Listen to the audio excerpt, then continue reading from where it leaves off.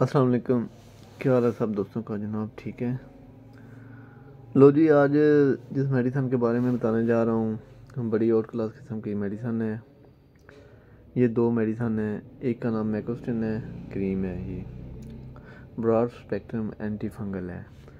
और दूसरी जो मेडिसन है, वो है टर्सी इसमें फार्मूला बनता है terbinafine citrate hydrochloride. One two five milligram, दस गोलियों की पैकिंग है। अच्छा जिन लोगों के जिसम के ऊपर घोलदैरे बन जाते हों, गोश्त ज़्यादा खाने की वजह से, धत्तर बन जाते हों, टांगों में बने हों, जिसम पे बने हों, सर में बने हों, कहीं भी बने हों तो उन लोगों की परेशानी ख़त्म समझो। करना आपने ये है कि एक गोली सुबह और एक शाम खाना खाने के बाद खा लेनी है। ये टर्बी सी जो है, ये वाली, ठीक है? एक गोली सुबह और एक शाम खानी है। तो जहाँ पे आपको दद्दर बना हुआ हो, स्पॉट बने हुए हैं गुलदारे बने हुए हैं, वहाँ पे थोड़ी थोड़ी क्रीम लगा देनी है।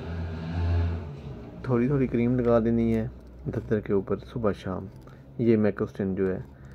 तो इन दो तीन दिनों के अंदर अंदर आपके ददर भी ख़त्म हो जाएँगे खारिश ख़त्म हो जाएगी, जितना भी प्रॉब्लम हुआ ठीक हो जाएगा।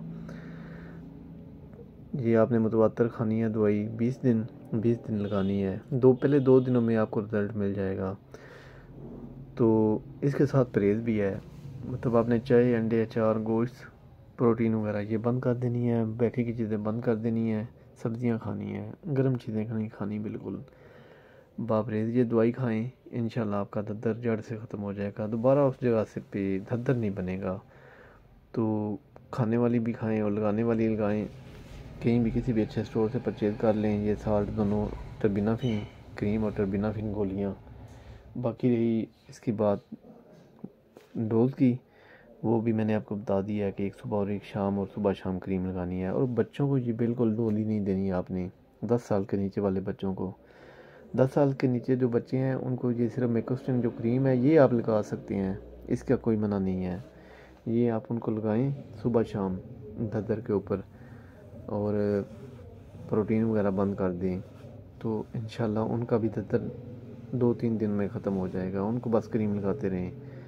आपको अगर किसी स्टोर से परचेज़ करने में कोई मुश्किल हो, ना मिल रही हो तो मेरे व्हाट्सएप नंबर पर कॉल कर लें। डिस्क्रिप्शन में नंबर है मेरा। तो मैं आपको परचेज़, ये परचेज़ करके ये अपने स्टोर से ही भेज दूँगा।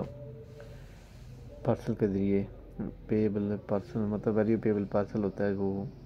या कैश ऑन डिलीवरी होता है तो उस तरीके से आपके घर पे ये मेडिसन आपको मिल जाएगी। ओके जी, अल्लाह हाफिज़।